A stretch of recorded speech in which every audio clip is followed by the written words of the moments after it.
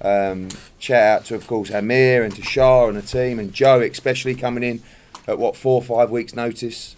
Um, some uh, inspirational corridor talk as well on the way to the ring. I've not seen that before. It was I was pumped. What, were you there? Yeah, I was there. Oh, was, I didn't know You were that. there. You were in the zone. with Oh, Amir, okay. but I didn't know that. fantastic to have Amir back. Over to you guys for questions for Amir and Joe.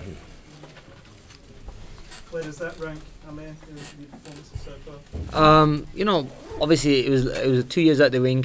Um, I'm not gonna say, oh yeah, it was it was one of my best performances. I mean, my performance wise, it was a bad performance, but it's not like I, would, I beat a world champion. I mean, I know there's better fights out there for me, so this is another fight in the office uh, that we put in the bag, and you know, just move on from here. Uh, I took all the experience out of this fight.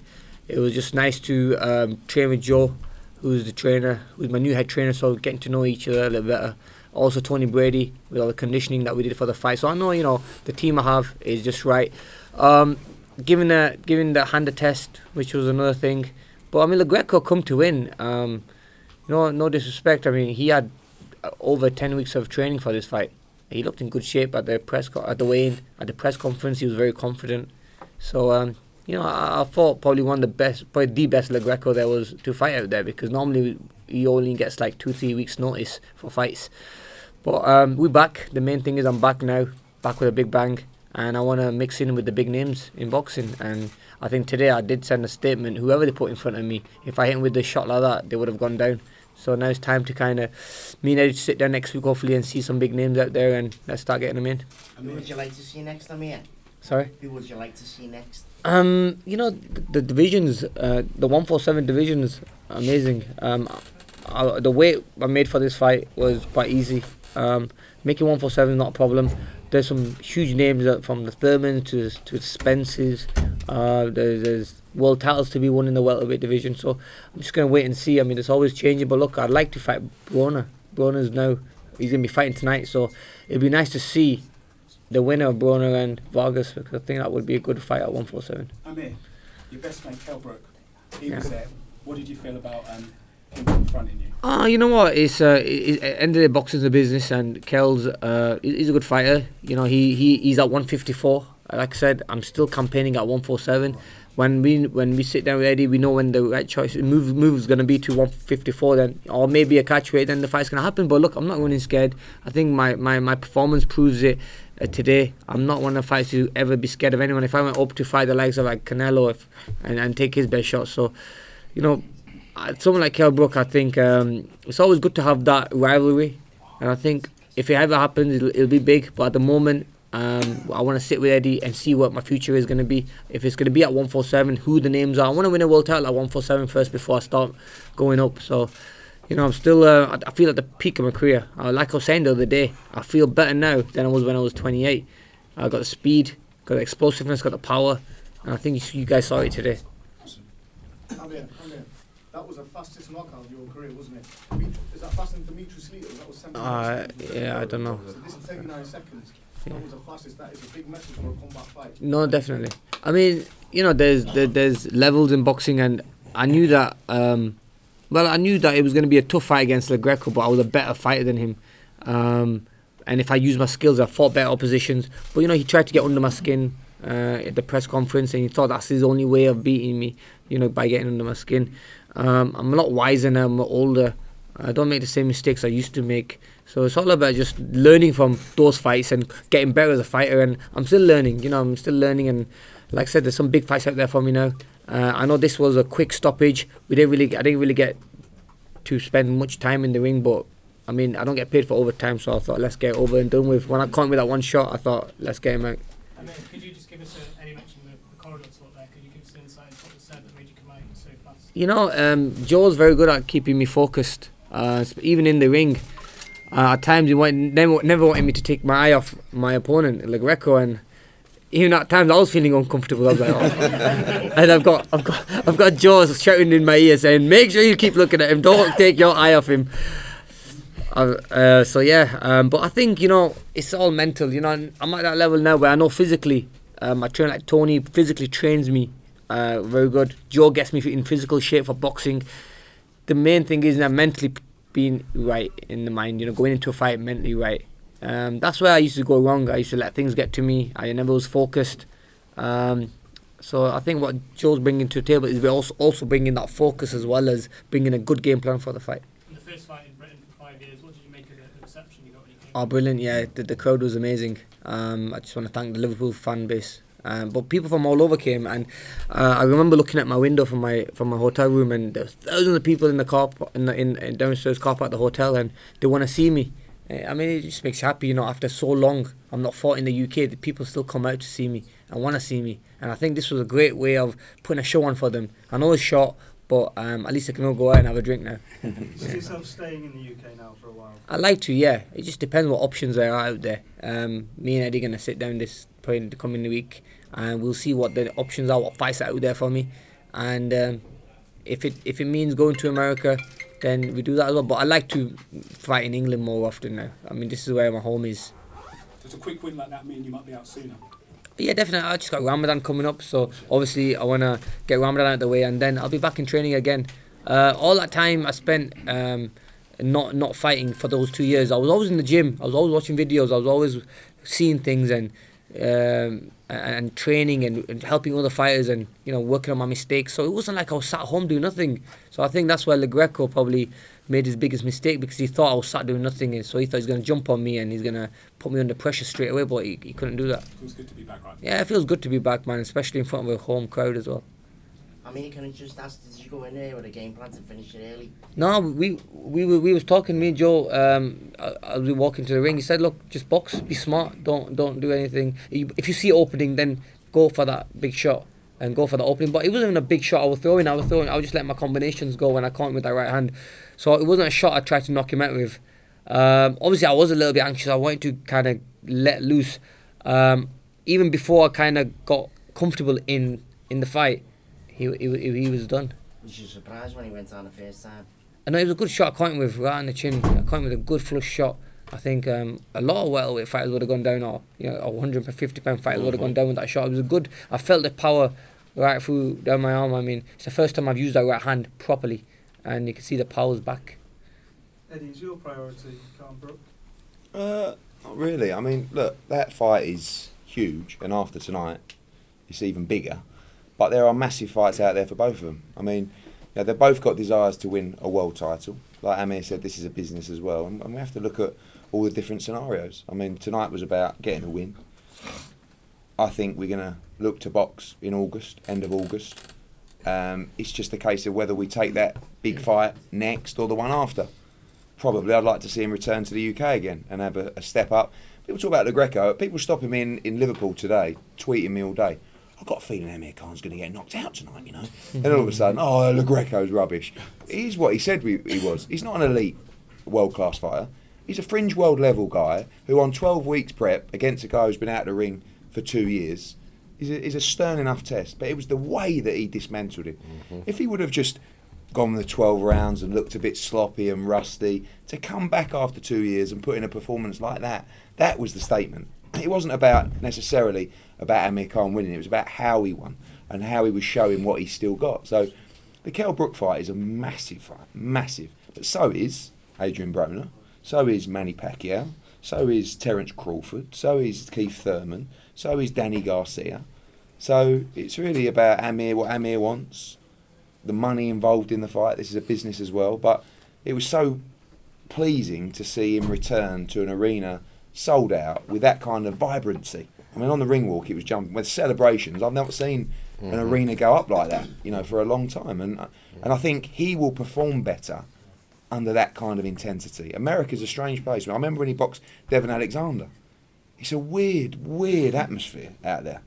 But over here, it sort of lifts you mm-hmm. and can produce the kind of intensity that he produced in 39 seconds. So, really, honestly, I, the answer is I don't know. But I know that there are half a dozen massive box office fights out there for him. You know people are going to go bananas if you don't make the Brook fight, don't you? Yeah, but you know we You're haven't gonna made get that stick for two years that that fight mm-hmm. should have and, and listen it should still and it's got that it was it was after Amir lost to Canelo and Kell lost to Errol Spence it became a little bit smaller Kell Brook looked great against Rabchenko, it became bigger. Amir Khan looked great against Lo Greco, it's become bigger again. So it's just a case of looking at the numbers, taking our time. If that's the correct fight for the team, for everybody, then we'll make the fight. I, I, I, there's no secret. Of course, I want to see the fight. You all want to see the fight. But there are lots of fights out there, and it comes down to do we want to win a world title? Yes. Do we want to make a lot of money? Sorry, yes. well, I do. You know, I'll speak for you. um, because Amir is in, uh, not, not the end of his career, but this is the last sort of six, Chapter. seven, eight chapters. you know, that's it, last so the, the aim is the biggest fights possible, and and like I said, there are a lot of choices. But of course, the British public would like to see that. fight. So you go Brook Khan next, Eddie, Eddie's yeah, we'll see, we'll see. Not next. They're both fighting at some point. Get Wilder Joshua done first. Yeah, yeah, yeah. yeah. that, that is definitely the first priority, and then we'll worry about it. Joe, how was it for you? I'm here back in the ring and you looked splendid. I mean, credit to you. I spoke to you before the fight and we kind of had a chat and you predicted that, you know, he's you're working on things that he's not worked on before. Mm. I mean, when he came in the ring, I've never seen him. He looked in good shape. He looked really positive. I think that had a, a mental effect on Lo Greco because he looked a bit nervous and he just jumped all over him. You've really got him worked in the right direction. How do you feel about that win? Well, there's a lot to digest in that, but uh, i- i- yeah, I mean, first off, you know, we're, we're I, I'm working with a superior athlete here. He's he's he's one of a kind, um, and I saw that manifest itself in the gym. So I, I, I knew if if we, and we didn't have a long time, of course, to train, but in that time we really did pack a lot of training in that five weeks, and you know, Amir's got a lot left. You know, I, I- I'll just I'll just say this: uh, the, the best is yet to come, and um, it was an incredible crowd tonight. I have to tell you, it was exciting for me, and uh, my experience here has been tremendous. And I want to thank Eddie and and frankly the Shaw family who treated me just tremendously, and the people of Walton and Liverpool. I just had a I had a great time while we were working. It's always fun if you can work hard. Uh, and have a great time and still be successful. So, boy, I, I'd love to come back Well, again and do it all over again. It was, it was it was- a little different, you know, being in the corner, and uh, you had Joe saying, "Keep your eye on him." Now, he's not even looking at me. You see him, you see him, you see, and I'm thinking, but he's not looking back at me. I mean, I wanted him to look back at me to work him out and see. So obviously, but I, I thought you might be looking back at him as well. But you were looking at him. You're looking at me, and I'm thinking, That's right. What That's do I do here? Well, You know I, I mean? will tell you, when we came out, he was looking at you, and when you started staring him down, No, he no, he turned, stopped then, yeah. he turned around. I could see Okay? that. I, I think and that's, that's part of the game. Yeah, that's when I, I saw that he kind of you could see the fight was lost. But when I mm-hmm. was looking at That's him, right. he was he stared at me for a couple of seconds, and after that, then he stopped looking at me. Would not look up at, look up at me, and that's when I thought he's done now. He That's knows right. he's It was very confident. intimidating, isn't it? Yeah. Yeah. But n- I think one of the biggest shocks of the night was not the 39 second win, but was that Joe Goossen was out of denim. and, he, he, and he looks he looks well. Look Well, at that thank- tracksuit; it's unbelievable. Well, yeah, I- I got to thank uh, Robert, the commissioner, Robert Davis, is it? Robert Smith. Smith. I'm Robert sorry, Davis. Robert Smith, and for for forcing my hand on it. But you know, we'll see if I can lobby and maybe Yeah. next fight. Any other questions, gang? Is this now a permanent thing? Yeah, I mean definitely. I mean, look, um, obviously, I hope Virgil gets better. Um, I had to, we had to make the move quick. Um, so um, I had to call Joe. I've always been watching Joe the way he trains his fighters, and it wasn't an easy camp. It was a very hard camp, and we had like five weeks to work with each other. On the sixth week was the fight, so we couldn't really do much on the fight week. But I like the way he's training me. I like the way he's pushing me, and I think that's what I need at this uh, at this part of my in- of my career. I need someone to be on me. I mean, um, it didn't feel. It feels right now, but a couple of weeks before it didn't feel right. I've always, Joe was always watching me, would not take his eye off me, so I have to make sure I do everything perfect. Otherwise, he's gonna tell me off, and sometimes you need that as a fighter. You know what I mean? I've had some trainers in the past who wouldn't do that; they'd be too busy around other fighters. But with Joe, um, I like the way he trained me today, and also like you know Tony Brady as well. I like when trainers and strength conditioners work together because that helps the fighter as well. You know what I mean? It, it makes things easier for me, and I like that way that they both communicate because they want the best for the fighter, basically. Joe, is telling Khan to look at the Greco, is that something that's specific for Amir, or just what you like your fighters? No, no, I, I, I would say it's it's a smart thing to do, who's ever in the ring uh, for any fighter, because what you know, there's certain like in poker, there's certain tells. You know, you're going to see something, you're going to see uh, something you like, that you may not have spotted before, just in the way the guy's warming up, or where you might see a spot on his body. You, you might say, you know, there's where I'm going to go to because it looks vulnerable. So you never know what you're going to see. And then, you know, you need to focus completely on the guy who wants to knock you out.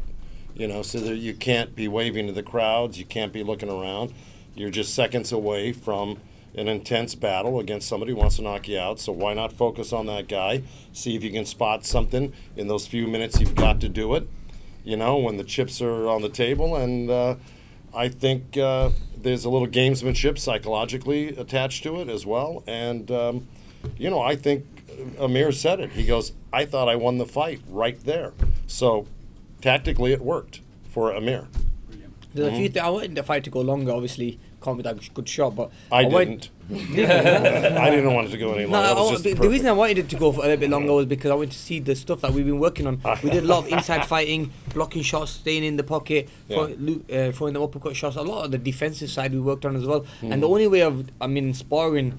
Uh, I we did amazing in sparring. I could see that a lot of things were working well. Mhm. My hands were going back up again.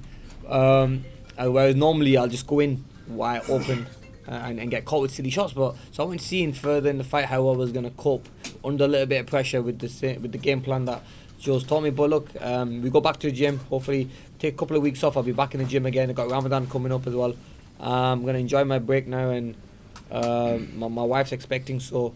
Hopefully, any day now she's gonna be popping baby. So I'm gonna be stuck. I'm gonna be babysitting then. So, so yeah, thank you. Good So- timing. Good timing.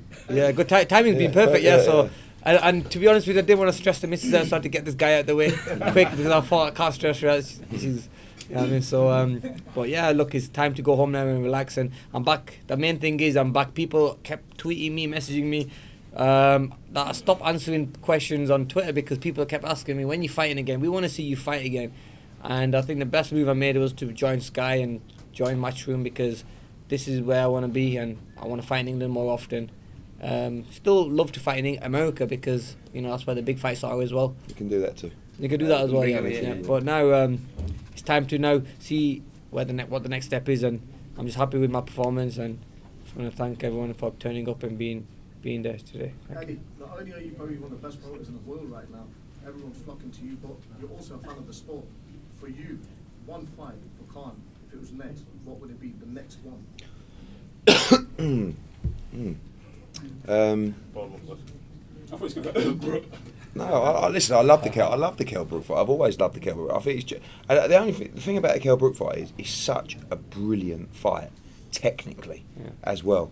They're both brilliant, and the styles are very different. Yeah, it's like, but you know, Kell's like a, a like a sharp block, but Amir's so fast. They can both punch. It was just, I love putting on huge events, and Yeah. that is. an very event. I mean, robotic. yeah, yeah. That's they're, they're very. oh, oh. Yeah, It's very awkward for me now. Yeah, you know, because he Never promotes both of us. yeah, yeah, yeah. He But- both of us. But look, he, he's robotic and look, he's a good fighter. He's got far. But I don't think he'd, he'd, he'd cope with the speed, the movement, and everything. And being a polished up fighter now, you know, I've changed. When I've lost fights, when I've made mistakes, I've changed my whole setup, changed my training. But whereas Kell's always stayed there. Kell's always going to be Kell. He's a good fighter. I mean, not limited. He's a good fighter. Look, he's, a, he's won a world title. Respect to him there. So I mean, if the fight ever happens, it would be big. I mean, look, you can see the the, the crowd out there how how they were cheered, cheering about it. So let's see, man. Look, Eddie, at this moment in time, is it a stadium fight, Brook Yes, it's a Wembley Stadium fight. It, it became it tonight. Yeah. To be honest, I mean, it it's always been massive. Like I said, things happen. It becomes you sort of start thinking, oh, do you just do it in the MEN or do you do it at Bolton or? And then after tonight, you just stick it straight in Wembley. It does ninety thousand like that. So, we'll see. All right, guys. Thank you so much for your support. Well done, Eric. Yeah, so- Just going to do a five minutes.